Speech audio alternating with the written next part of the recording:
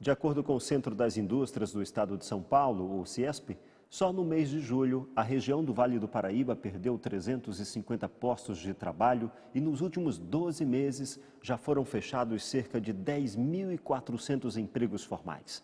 Os números representam uma variação negativa que acompanha a crise econômica.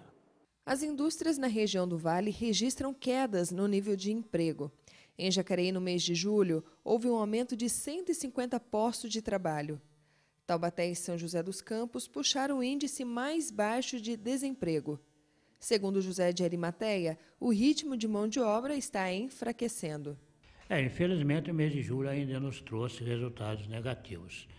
É, nas nossas 28 cidades abrangidas pelo CIESP de Taubaté, nós tivemos no mês de julho uma perda de 100 postos de trabalho. No ano, nós chegamos aí nos, vamos dizer, nos 12 meses, nos sete meses, em torno de 1.050 postos de trabalho. E se levarmos em conta 12 meses, a gente chega a 5.850, quase 6 mil postos de trabalho perdidos. Isto ainda representa uma situação melhor do que o ano passado. Ano passado tivemos mais perdas. E de uma forma geral, é, a perda de mão de obra vem perdendo força, ou seja, o ritmo de perda de mão de obra está tá, tá enfraquecendo. Como ele disse, esses números são apenas Taubaté e as 28 cidades que eles atendem. Em todo o Vale, nesse período, o setor industrial sofreu a perda de 10.400 empregos formais, com carteira assinada. Foi o pior saldo negativo para o intervalo de 12 meses desde a crise internacional de 2009. Em julho, a região perdeu 350 empregos na indústria, número 2,6 vezes menor do que as 930 vagas fechadas em julho de 2015. É, veja bem, é melhor no sentido de que estamos perdendo menos, certo? Para o ano passado, aconteceu 265 mil perdas de postos de trabalho, de 2015.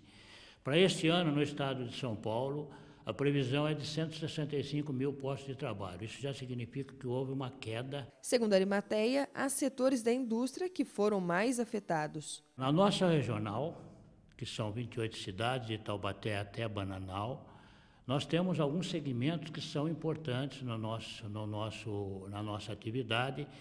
E pela ordem crescente de perda, nós tivemos primeiro produtos de metal, depois nós tivemos equipamentos de informática, produtos eletrônicos óticos.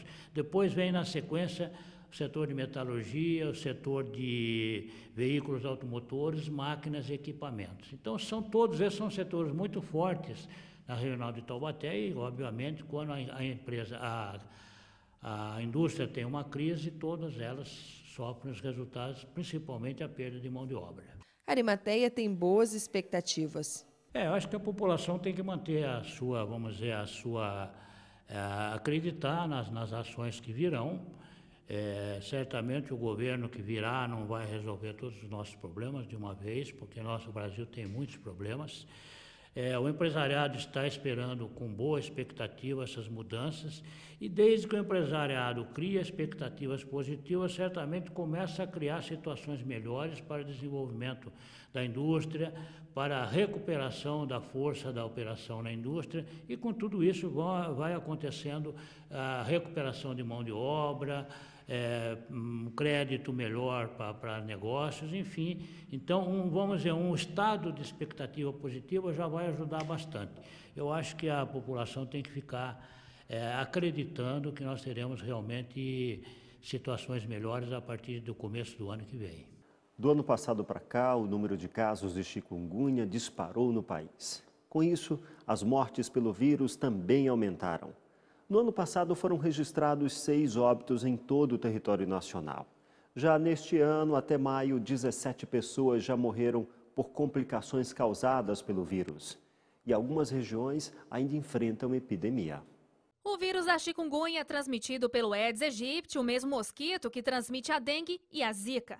A doença se manifesta entre 2 e 12 dias depois da picada e causa febre, dor de cabeça, manchas vermelhas e dores nas articulações. Segundo o Ministério da Saúde, de janeiro a maio deste ano, foram notificados em todo o país 122.762 casos de chikungunya. dez vezes mais do que no mesmo período do ano passado. A Bahia é o estado com maior incidência. De acordo com o levantamento do Ministério da Saúde, foram 36.832 casos de janeiro a maio deste ano. E a Secretaria de Saúde do Estado contabilizou um mês a mais. Até junho, o número já ultrapassa 39.500 casos. A explosão de casos de chikungunya aumentou também o número de mortes causadas pela doença. Durante todo o ano passado, foram seis em todo o país. Neste ano, até maio, 17 pessoas já morreram por complicações provocadas pela chikungunya, a maioria idosos. O Ministério da Ciência divulgou novos resultados de pesquisas sobre a pílula do câncer. Os resultados apontam a redução do tumor em até 64%. O Ministério da Ciência, Tecnologia, Inovações e Comunicações divulgou ontem novos resultados de pesquisas sobre a fosfoetanolamina, o composto que ficou conhecido como pílula do câncer. O estudo que avaliou o efeito da fosfoetanolamina em camundongos apontou que a substância foi capaz de reduzir o tamanho do tumor mas com efeito menor do que a ciclofosfamida, que já é usada como quimioterapia contra o câncer. O teste foi feito pelo Núcleo de Pesquisa e Desenvolvimento de Medicamentos da Universidade Federal do Ceará, de Fortaleza, e utilizou o melanoma, que é um tumor agressivo, usado como modelo para estudar a imunoterapia em animais. As células de melanoma foram inoculadas em cinco grupos de 10 camundongos. A pílula do câncer passou a ser sintetizada e distribuída pela USP para pacientes com câncer, sem que a substância tivesse passado pelos testes clínicos necessários para determinar a segurança e eficácia do tratamento. Além da iniciativa de pesquisa federal sobre a pílula conduzida pela pasta, uma outra iniciativa para pesquisar a substância ainda está em curso, financiada pelo governo do estado de São Paulo e coordenada pelo Instituto do Câncer de São Paulo. Ainda sobre câncer, os cinco tipos mais comuns nos homens brasileiros são o de próstata, pulmão, intestino, estômago e de boca. Só em relação ao câncer de próstata, a estimativa é que cerca de 61.200 casos da doença aconteçam só neste ano. De acordo com o Instituto Nacional de Câncer, os maiores fatores de risco são idade, histórico familiar e cor de pele. Segundo estudos, negros com mais de 65 anos têm maior probabilidade de desenvolverem a doença.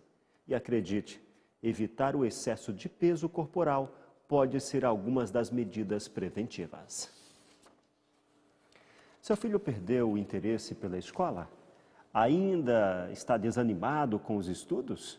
Acompanhe dicas de como ajudar a recuperar o interesse das crianças nas atividades escolares.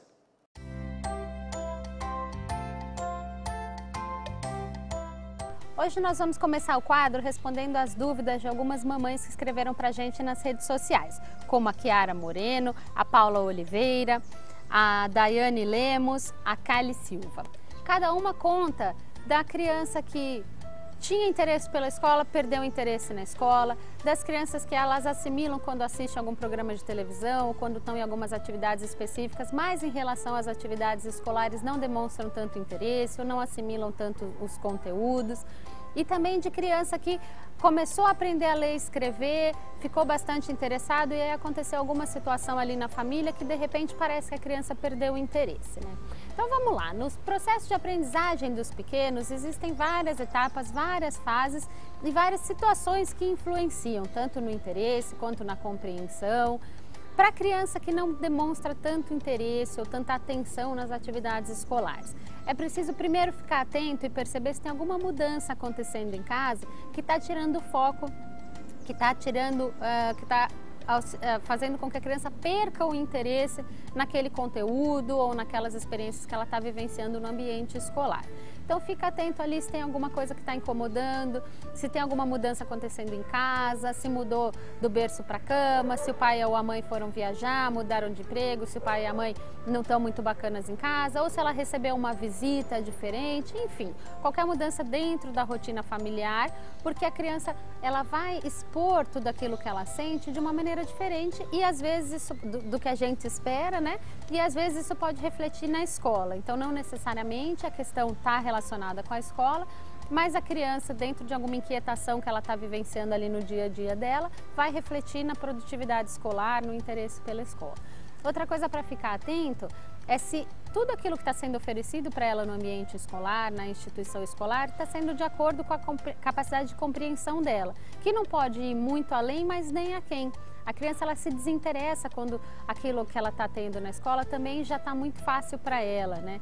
E se o desafio é muito maior do que aquilo que ela está acostumada ou que ela está capaz de fazer naquele momento. Então, verificar se as práticas educativas ali na escola, se a didática está de acordo com a criança. Outra coisa importante para ficar atenta é se não está acontecendo alguma questão social, um bullying ou por que desse desinteresse, se é alguma briga com algum colega, se é alguma situação é, de incômodo com algum professor. Então, tudo isso vai influenciando no interesse dos pequenos. E como é que a gente faz para incentivá-los, né?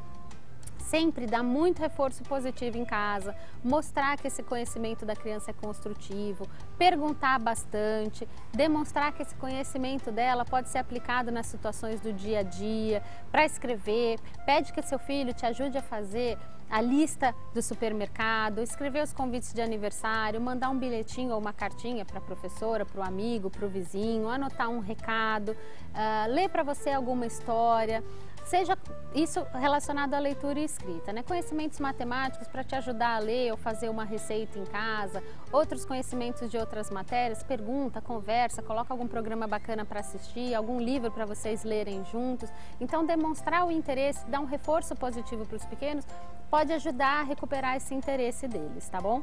E esse foi o nosso E Agora Mamãe de hoje. Estou esperando a sua pergunta na próxima semana. Escreva para a gente nas redes sociais. Um abraço. E a seguir no Repórter Setorial. Aprenda quais são os cuidados necessários com o uso de suplementos alimentares. Aguarde um instante, nos ajude a encontrar algumas pessoas que estão, infelizmente, desaparecidas.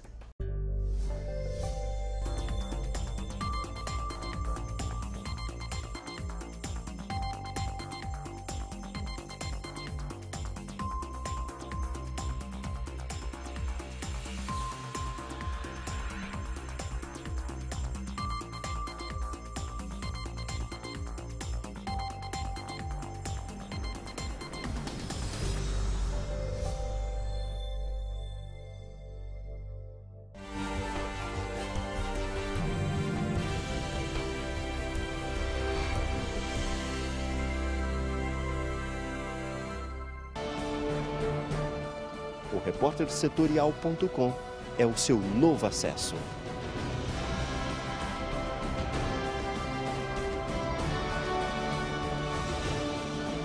É nossa terra no ar.